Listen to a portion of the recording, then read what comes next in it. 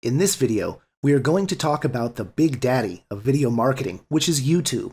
We'll also see how you can leverage the power of YouTube and how you can position yourself as an online authority who starts getting targeted leads and sales. First, let's talk about the advantages of YouTube. Number one, it is accessible to unlimited pool of targeted leads, as YouTube is the most searched video site today.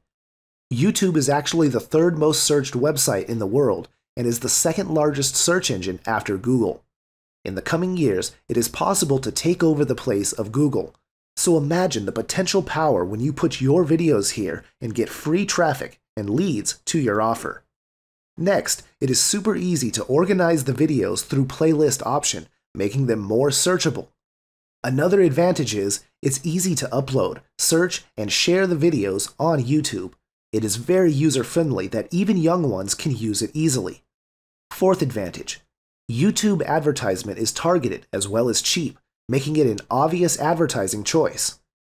Next, with more than 6 billion hours of videos being watched every month, YouTube absolutely dominates the video market.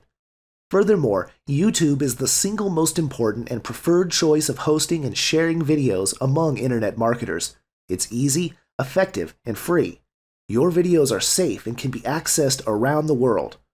Now, one of the most effective ways of hosting and sharing your videos is via your own YouTube channel. In the chapters ahead, we'll see the exact steps of opening and operating a YouTube channel. YouTube channel helps you brand yourself and organize videos under one roof. It gives you a wide array of free customizable options like custom thumbnail, subtitles and CC, logo, etc. Another advantage is live channel stats can help you monitor and analyze your channel and video performances. In your screen, you can see my graph and data. This is how you monitor your channel performance. Some people prefer to have several channels for different purposes, like coaching, product launches, and affiliate offers. On the other hand, some marketers just use one channel for everything they do, and that is totally fine. Let's take this YouTube channel for example. And let's go to the analytics. Here you can see how many views you've got, average view duration, number of likes and dislikes, and your top videos. In addition, you can also see the demographical data and the countries where you got the most views.